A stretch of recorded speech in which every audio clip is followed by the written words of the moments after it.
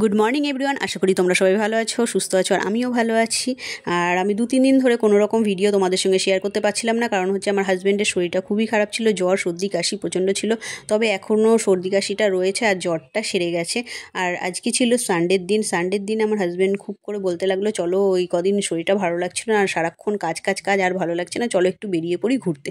তো সেই মতোই আমরা ভোরবেলা উঠে একটু স্নান করে, টিফিনটা করে বেরিয়ে পড়ি, আর স্টেশনের দিকে। স্টেশনের দিকে রওনা দিয়ে দিতেই চলে আসলো আমাদের ট্রেন। তো আমরা ট্রেনে চড়ে বসলাম। এবার রওনা দিয়ে দিলাম আমরা আমাদের গন্তব্যস্থলের দিকে। বেশ ভালো লাগছিল। সকাল সকাল যেহেতু একদম ফ্রেশ মুডে রয়েছি। এই স্নান কমপ্লিট খাওয়া দাওয়া কমপ্লিট আর ঘুরতে যাচ্ছি। ঘুরতে যাওয়া মানেই তো বেশ একটা আনন্দের ব্যাপার। তো বেশ ভালো লাগছিল। বাইরের দৃশ্যটা দেখছিলাম জানলা দিয়ে। খুব মজা লাগছিল। তো চারিদিকটা দেখতে দেখতে পৌঁছে গেলাম আমরা আমাদের গন্তব্যস্থলে। তো বেশ মজা হয়েছিল। সাথে একটু তো ভিডিও আর সেলফি তো হতেই হবে। তো দেখতেই পাচ্ছ স্টেশনে পৌঁছে গেছি কোথায়? কি নাম লেখা তোমরা অবশ্যই দেখেই বুঝতে পারছ। হ্যাঁ আমরা পৌঁছে গেছি দীঘায়। হ্যাঁ এই ছিল আমাদের ট্রেন ট্রেনটা ছিল হচ্ছে আসানসোল দীঘা এক্সপ্রেস তো আমরা তমলুক থেকে এই ট্রেনটাকে ধরেছিলাম। পৌঁছে গেলাম দীঘায়। দীঘায় পৌঁছে স্টেশনটা তোমাদেরকে একটু দেখিয়ে নিচ্ছি। ট্রেন থেকে নেমেই একদম বাইরের দৃশ্যটা দেখাচ্ছি। স্টেশনের বাইরে নয় মানে স্টেশনের কিন্তু আমরা এখনও ভেতরেই রয়েছি। তো প্ল্যাটফর্ম থেকে হেঁটে হেঁটে একদম বাইরের দিকে যাওয়ার চেষ্টা করছি। তো তার আগে একটু তোমাদেরকে এই প্ল্যাটফর্মটা একটু ভিডিও করে দেখিয়ে নিলাম যে কেমন দেখতে। তো এবার আস্তে আস্তে বাইরের দিকে বেরোতে হবে আমাদেরকে। তো সেই মতো আমরা এগিয়ে চললাম। সামনের দিকে। তো সামনের দিকে এগোতেই এই যে তোমরা দেখতে পারবে গেট থেকে যেই ভেতর দিকে যাবে যেতে দেখবে ডান দিকে বা দিকে দুদিকেই কিন্তু টিকিট কাউন্টার আছে। তো ডান দিকে তোমরা এমনি নর্মাল টিকিটগুলো যেগুলো হয় এক্সপ্রেসের এমনি টিকিটগুলো নর্মাল টিকিট সেইগুলো নিতে পারো। আর রিজার্ভেশন করতে গেলে একদম থার্ড কাউন্টার নয় তো বা দিকে একটা কাউন্টার আছে প্ল্যাটফর্মের বা দিকে তো সেই দিক থেকেও করতে পারো। তো এবার আমরা বাইরের দিকে রওনা দিয়ে দিলাম। বাইরের দিকে রওনা দিতে দুদিকে দুটো গেট আছে, একটা ডান দিকে একটা বা দিকে। তো সেই মতো আমি আমার হাজব্যান্ডকে বলছিলাম, কোথা দিয়ে বেরোবো? তো বলছে, যেদিক দিয়ে ইচ্ছা বেরো। তো সেই মতন বা দিক দিয়ে বেরিয়েই এই যে মোটর ভ্যানে চড়ে বসলাম। তোমাদেরকে একটা কথা বলি যে, তোমরা কিন্তু স্টেশন থেকে নামলে প্রচুর অটো টোটোওয়ালাকে দেখবে যারা প্রচুর টাকা ডিমান্ড করে বসে। একদম তাদের সঙ্গে কোনো রকম কথা বলবে না। সোজা স্টেশনের বাইরে চলে আসবে। আসলেই এরকম মোটর ভ্যান কিংবা অটো থাকে যেগুলো শেয়ারে যায়, কুড়ি টাকা, তিরিশ টাকা, আরামসে তুমি তোমার জায়গা মতন পৌঁছে যাবে। কিন্তু ওদের ডিমান্ড থেকে সবসময় দুশো, আড়াইশো টাকা কেউ কেউ একশো আশি টাকা, দেড়শো টাকা, এরকম চেয়ে বসবে। কিন্তু কুড়ি টাকায় তুমি আরামসে চলে যেতে পারো। তো আমরা কি করলাম ওল্ড দীঘা সমুদ্র বিচে চলে আসলাম। হোটেলে পরে যাব ভাবলাম যে আগে একটু সমুদ্র দর্শন করতেই হবে, তারপরে যাব হোটেলে। তো সেই মতো একটু বিচের ধারে এসে একটু চারিদিকটা দেখে নিচ্ছিলাম। ভালোই লাগছিল, তবে একটু অসন্তুষ্ট ছিলাম আমি, কারণ সমুদ্রের জলটা এত দূরে ছিল। হ্যাঁ যেহেতু একটু এখন ভাটার সময় বলে জলটা অনেকটা দূরে ছিল। তাও ভালো লাগছিল, যাই হোক, ঘরে বসে থাকার থেকে তো ঘুরতে যাওয়া একটু বেশ ভালোই লাগে ছুটি ছাটার দিনে। তো পিঠে ব্যাগ রয়েছে, দেখতেই পাচ্ছ, কারণ আমরা রুমে যাইনি, আগে আমরা চলেছি সমুদ্রের পাড়ে। আর একদিনের ট্যুরেই এসেছিলাম বলে বেশি লাগেজ ছিল না, ব্যাগটা হালকাই ছিল। দু তিনটে ড্রেস নিয়ে চলে এসেছি, যেহেতু ভেবেছিলাম যদি সমুদ্রে জলে নামি, তো সেই মতো প্রিপারেশান নিয়েই এসেছিলাম, এক সেট সেই রকম ড্রেস নিয়ে এসেছিলাম। আর ভেবেছি যে একটা তো রাতে পরে ঘুরতে বেরোতেই হবে, তো তিনটে ড্রেস নিয়ে আমি রওনা দিয়ে দিয়েছি। কারণ একদিনের ব্যাপার ছিল। এবার আস্তে আস্তে আমরা এই যে হোটেলে ঢুকে পড়েছি আর রিসেপশনটা দেখলে এবারে লিফটে করে আমরা চলে গেলাম সেকেন্ড ফ্লোরে তো সেকেন্ড ফ্লোরে যাওয়ার পরে আমি আমার রুমটা ট্যুর দেখাচ্ছি তোমাদেরকে। দেখো, এটা একদম মিডিয়াম সাইজের রুম খুব ছোটও নয় আর বিশাল বড়ও নয়। মিডিয়াম সাইজের আমাদের জন্য একদম ঠিক আছে। আর বেডটা ছিল ডাবল বেড তো দেখতেই পাচ্ছ। আর এই যে ওয়াশরুমের দিকে যাচ্ছি ওয়াশরুমটাও বেশ বড় ছিল আর পরিষ্কার পরিচ্ছন্ন ছিল। রুম ভাড়াটাও কিন্তু খুব একটা বেশি ছিল না, মাত্র ছশো টাকা ছিল একদিনের জন্য। আর খুবই সুন্দরভাবে গুছানো, খুব ভালো লেগেছে রুমটা আর রুমে একটা ওয়ার্ড্রবও ছিল। আর টিভিটা তো ওরা চালিয়ে দিয়ে চলে গেছে, তো আমি সেই মতো টিভিটা বন্ধ করিনি, টিভিটা চলছেই। আর তোমাদেরকে দেখাচ্ছি রুমটার সাথে সাথে, এই যে দেখতেই পাচ্ছ, টিভিটা এখনও চলছে। আর ওদিকে যে আর একটা দরজা রয়েছে, ওটা খুললে বাইরেই একদম ব্যালকনি রয়েছে, ওখান থেকে বাইরেটাও দেখা যায়। আর যদি শীতের দিনে একটু চেয়ার নিয়ে এখানটায় বসা যায়, হালকা হালকা রোদও আসছে। ভালোই লাগছে বাইরের দৃশ্য দেখতে দেখতে বেশ এখানে একটু আরামে বসাও যাবে। তো আমরা একদিনের জন্য এসেছি আর ব্যালকনিটা ইউজ করা হয়নি। তো সেই মতোই আমরা এবারে তাড়াহুড়োই ছিলাম কারণ অনেকটা বেলা হয়ে গেছিল আর খুব জোর খিদেও পেয়েছিল। রুম টুর করেই বেরিয়ে পড়েছি একটু খাবার দাবার খেতে। রেস্টুরেন্টে চলে গেলাম বাইরে কারণ আমাদের হোটেলের রেস্টুরেন্টটা সেদিনকে বন্ধ ছিল। আমাদের সেদিন বন্ধ না মানে তোমার অনেকটা বেলা হয়ে গেছিল বলে তখন বন্ধ ছিল। তো আমরা বাইরে বেরিয়ে খাওয়া দাওয়া করে নিলাম। বিরিয়ানি খেয়ে সোজা আবার চলে গেছি বিচের ধারে। গিয়ে হাঁটাহাঁটি করছিলাম। তো আমার হাজব্যান্ড বলল, চলো একটু হাঁটাহাঁটি করে নিই কারণ খেয়েই বসে থাকতে ভালো লাগে না রুমের মধ্যে। একটু হাঁটাহাঁটি করলে খাবারটাও হজম হবে। তো সেই মতো একটু বিচের ধারে এসে রিলস বানালাম, একটু মানে ভিডিও টিডিও শ্যুট করলাম, করে আরামসে একটু ঘোরাঘুরি করছিলাম। বেশ মজাই লাগছিল। আর আমার হাজব্যান্ড চারিদিকটা একটু ভিডিও করছিল। ও যখনই আসে তখনই এই এই সমুদ্রের পাড়টা একটু ভিডিও করতে ভালোবাসে। চারিদিকটা নিজের নয় মানে বাইরের এই সমুদ্রের বীচ প্লাস এইসব চারিদিকটা একটু ক্যাপচার করতে ক্যামেরাতে ভালোবাসে। তো সেই মতোই ও ভিডিও শ্যুট করছিল। আর তার মাঝখানে আমিও একটু ঢুকে পড়ছিলাম, ঠিক আছে? মাঝে মাঝে তো ও কী করে বলে কি, তুমি দাঁড়াও, তোমার ফটো তুলছি। ফটো তোলার নাম করে তো একটা ভিডিওই করে ফেলে। পরে আমি বুঝতে পারি অনেক রকম আওয়াজ, কথাবার্তা শুনে আমার বেশ হাসি লাগে পরে যে, তুমি আমাকে না জানিয়ে জানিয়ে ভিডিওটা করো। সেই রকমই একটু হাসাহাসি করছিলাম তাই। তারপরে মনে হলো যে সমুদ্রের ধারে বসে না একটু ডাব খেতে ভালো লাগে। তো একটু ডাব নিয়ে নিলাম একটা, আর অনেকটা বড় ছিল এই ডাবটা, পঞ্চাশ টাকা নিয়েছিল আর শাঁসালা ডাব ছিল। দুজনে মিলে তো যেহেতু দুপুরের খাবার দাবার খাওয়ার পরে তো বেশি খাওয়া যায় না ডাবের জল, তো একটাই নিয়েছিলাম, দুজনে শেয়ার করে খেলাম। তাও মনে হচ্ছিল যেন খেতে পাচ্ছিলাম না। আর শাঁসালা ছিল আবার ওই নারকেলটাকে একটু দুজনে শেয়ার করে খেয়েছিলাম। আর সমুদ্রের পাড়েই একটা রিসর্ট ছিল। এখানটায় বেশ সুন্দর সুন্দর কালারফুল জবা ফুল ছিল। ঠিক আছে, আমার এত ভালো লাগছিল দেখে জবা ফুলগুলো আর বেশ বড় বড় সাইজের রঙগুলো এতটাই সুন্দর যে আমি একটু ভিডিও করে নিচ্ছিলাম সাথে সাথে। আর কয়েকটা ফটোও তুলে নিয়েছি। খুব ভালো লাগছিল জবা ফুলগুলো দেখতে। আর ফুল কার না ভালো লাগে? আমার তো ভীষণই ভালো লাগে ফুল দেখতে। তো সেই মতো আমি দেখছিলাম আর ফটো তুলছিলাম। বেশ মজা লাগছিল দেখতে। আর একদিনের জন্য এসছি মানে ঘরে বসে থাকতে নয়। আমি কিন্তু যেখানেই যাই না কেন, সব ঘোরার নাম মানেই হচ্ছে আমাকে ঘুরতেই হবে সেখানে। ঘরে বসে থাকলে হবে না। তো সেই মতো ঘোরা ফেরা ফটো তোলা, ভিডিও করা, শ্যুট করা এই সব তো আছেই। তারপরে রুমে একটু রেস্ট নিয়ে আবার আমরা সন্ধেবেলায় বেরিয়ে পড়লাম ওল্ড দীঘা থেকে নিউ দীঘার উদ্দেশ্যে। নিউ দীঘা পর্যন্ত যেতে কিন্তু আমাদের কুড়ি টাকা ভাড়া লেগেছে। আমরা শেয়ারে একদম অটো স্ট্যান্ড থেকে অটোতে উঠবে, ভাড়া বেশি লাগে না শেয়ারে যাবে, কুড়ি টাকা নেবে ওল্ড দীঘা থেকে নিউ দীঘা পৌঁছে যাবে। একদম জাহাজবাড়ির সামনে আমরা নেমেছি, ওখানেই গিয়ে এই জাহাজবাড়িটার একটু ভিডিও করছিলাম। আর ভেতরটা আগেও অনেকবার ঘুরেছি বলে আজকে আর ভেতরটায় যাইনি। একটু বাইরে থেকেই ভিডিওটা করলাম তোমাদেরকে দেখাবো বলে যারা যাওনি, তো তোমরা গেলে ভেতরটা অবশ্যই ঘুরে দেখবে। এখানে কিন্তু কফি হাউস থেকে রেস্টুরেন্ট থেকে শুরু করে, তারপরে এখানে কিছু শো চলে যেগুলো সেভেন ডি শো চলে যেগুলো তোমরা দেখতে পারো। খুব ভালো ভালো লাগবে দেখতে। তো যারা মনে করো যে না, এটা আমাদের সময়ের অপচয়, সোজা আমরা সমুদ্রের ধারে যাব, একটু মার্কেটটা ঘুরবো, তো তোমরা সেরকম যেতেও পারো। তো যাই হোক, এখানে দেখতেই পাচ্ছ প্রচুর মাছের ছবি দিয়েছি আমি।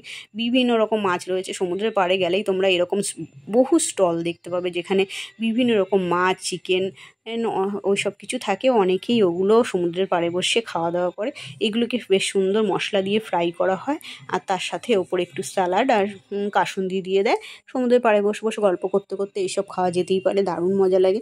আর এই যে আমি চলে এসেছি নিউ দীঘা মার্কেটটার মধ্যে এন্ট্রি নিচ্ছি। দু সাইড দিয়ে দোকান আর এই মার্কেটটা বিশাল বড় মার্কেট মানে তুমি যেন মানে হেঁটে শেষ করতে পারবে না কয়েক ঘন্টায়। অনেক বড় মার্কেট আর প্রচুর জিনিসপত্র যা চাইবে এখানে সব কিছুই দেখতে পাবে। আর যেহেতু সমুদ্রের পাড়ে মানে তো ঝিনুক, শঙ্খ, শাখা এসব তো থাকবেই। ওগুলো সাথে সাথে খুব সুন্দর সুন্দর মানে ঝাড়বাতি, দোলনা। অনেকে কিন্তু জানো দোলনা কেনার জন্য, শুধু দোলনা কেনার জন্য এখানে চলে আসে ঘুরতে ঘুরতে যে দীঘায় গিয়ে দোলনা কিনবো, ঠিক আছে? তো সেই মতো এখানে অনেক মানুষ আছে যারা দোলনা কিনতেই শুধু আসে। আর খুব সুন্দর সুন্দর ব্যাগ, ঝিনুকের ব্যাগ তারপরে অনেক কিছু, অনেক ধরনের ব্যাগ আছে এখানে। আর বাচ্চাদের তো প্রচুর খেলনা থেকে শুরু করে মানে সাজা গোজার জিনিস খুব সুন্দর সুন্দর রয়েছে, পুতুল, কত কিছু রয়েছে। মার্কেটটার মধ্যে, মার্কেটটা ঘুরতে বেশ মানে খুবই ভালো লাগে। আর হচ্ছে এখানে বিভিন্ন রকম জুতোও বিক্রি হয়। যেহেতু সমুদ্রের জলে যেতে হয়, তো সেই হিসাবে জলে পড়ার জন্য এরকম অনেক রকম জুতো কিনতে পাওয়া যায়। আর এখানে দেখাও বন্দুক দিয়ে সবাই সেই বেলুনগুলোকে ফাটায়। এগুলোকে দেখলে না ছোটোবেলায় সেই কথাগুলো মনে পড়ে। আমরাও বেশ মেলায় গিয়ে না এই বন্দুক দিয়ে বেলুনগুলো ফাটাতাম।